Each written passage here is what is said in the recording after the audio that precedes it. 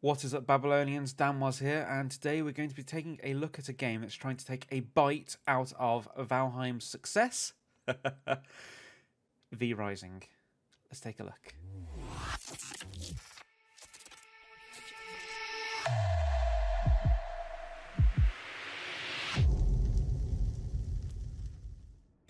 So let's take a look firstly at, well, what, what can you do in this game really? So first of all, the most important part, the, the character creation screen. So here you can choose your body type, male, female. You can randomize as well to get a random uh, character set up, or you can actually edit things like the skin tone, the eye color, the hair color, and change the features around on your vampire as well.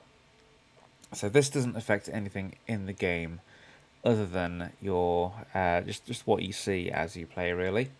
Um, but make it as beautiful, make it as ugly as you want to. Once you start the game, you'll spawn in a, uh, in a coffin in an underground cave. And this is your, your starting point, and if you die uh, early on, this will also be uh, one of your choices for a respawn point, uh, which we can cover a little bit later on as well. As you can see, the graphics are not the best, they're not terrible, uh, but you know what, it's not the graphics that I'm looking into for these kind of games, it's uh, the originality and the, the actual fun levels of it as well. Uh, so as you can see, you can jump down uh, from high terrain as well. So this will be useful later on in the game when you're uh, traversing sort of the, the hills and the mountains. Uh, but yeah, you can drop down uh, just to get a, a, quick escape as well. So let's have a look at what the actual uh, game entails as well. So the game is very heavily combat orientated using both magic, as you can see here, and also your melee, and you do also have a ranged uh, option that you can use as well. So starting off here, you only have the ability to use a single spell and also your fists to attack, but you will later on uh, get, uh, you can craft your own weapons, which we'll go into as well. One of the most important things you need to consider in this game is as a vampire, you cannot stand out in the sun. So you have a certain level of sun resistance, uh, but as you can see there, whilst you're standing in the light, you will slowly uh, I say slowly, actually be quite quick, you'll start to burn. Now, burning starts off small, maybe a, a couple of uh, HP, but then it very quickly escalates into dealing heavy, heavy damage to you. So you do not want to get caught in the sun. If you're in a fight uh, without any shade around whilst it's daytime, uh, then you need to really abandon that fight if possible and get to some sort of shade as quickly as you can if you get yourself into a bit of a tough fight as well, you've got to obviously keep an eye on your health. Uh, as you can see there, we're almost burning there again. You are going to have to try and heal. Uh, healing comes with its own issues, so as you can see, you've got the blue bar and the black bar. The blue bar is your current health, the black bar is your maximum health, and then you do have like an empty space after that, that is your maximum health uh, outside of combat. So as you can see, we are healing now. Both bars are going up, so our maximum health is going up and our current health is going up. But in the middle, there was, as you can see, blood. Yeah, you can now see we are out of blood. And that is actually very bad. So whilst you're out of blood, your health will be constantly going down. Uh, you need blood as a vampire to survive, so you will need to make sure that you are uh, keeping yourself uh, fed whilst also keeping your health up. So here we are, ju we well, just managed to uh, eat a tainted heart to replenish the blood. Uh, but you can also get blood from feeding on uh, the enemy as well. So anything that you can kill, uh, so creatures, uh, humans, uh, well, anything that has blood really. So if you come up against an undead character, uh, undead enemy, should I say.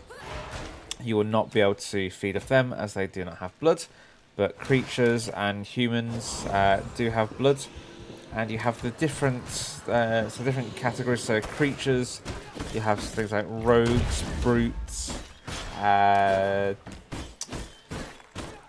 well, I can't, off the top of my head, I can't think of any more, but uh, there's plenty of different ones. So each one gives different, uh, different uh, uh attributes towards your abilities. So creatures, for example, depending on what the the, the quality of the blood is, you will have a uh, a boost to your speed. Uh, a warrior, you'll have higher damage output uh, rogue, you might have, uh, say, like faster healing, etc. So these will all come into play, uh, and you, you, you'll all want, you'll always want to try and get the highest quality blood possible.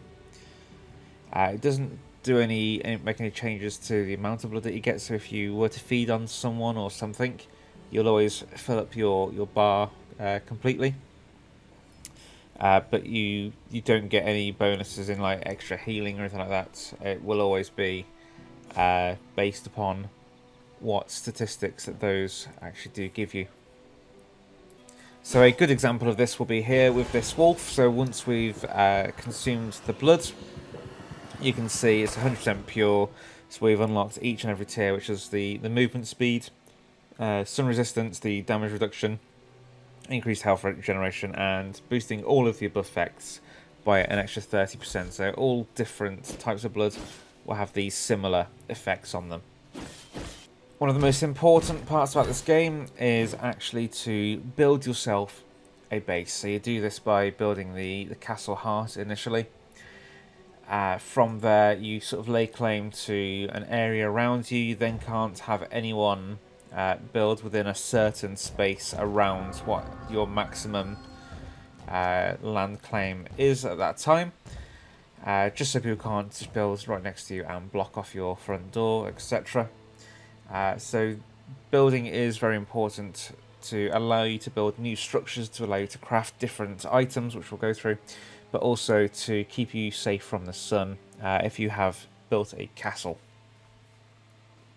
So you'd go from something like this, and eventually you'll have something a lot more like this beautiful place here. Uh, obviously, it's not the perfect layout. It's not complete either. There's still plenty of uh, things we need to build in here, but this is what you'll eventually have uh, something similar to.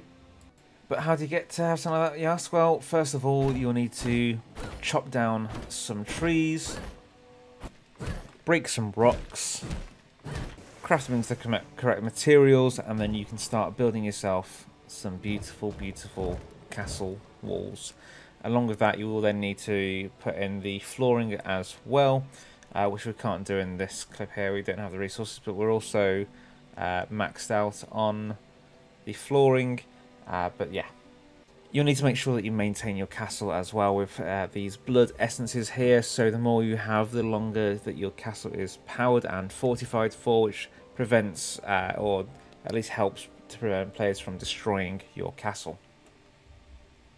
Now, crafting equipment is easy. All you need to do is make sure that you have the required materials and the required um, sort of workbench here. So there's different levels of workbenches and whatnot.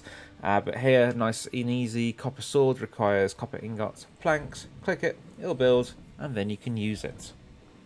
Getting access to stronger and newer weapons and armor can be done at the research desk, which you can do by learning from a book that you have found in the wild, or by discovering using the random chance. If you have 50 paper, it will give you a random uh, research.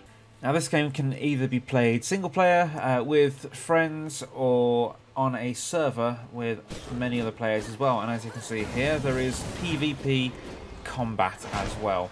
Now, this uh, other vampire decided to pick a fight with myself, not realising that I was a bit of a higher level than them. And if I'm being honest, if you're going to attack me first, I'm going to chase you down, hunt you down, and try and kill you.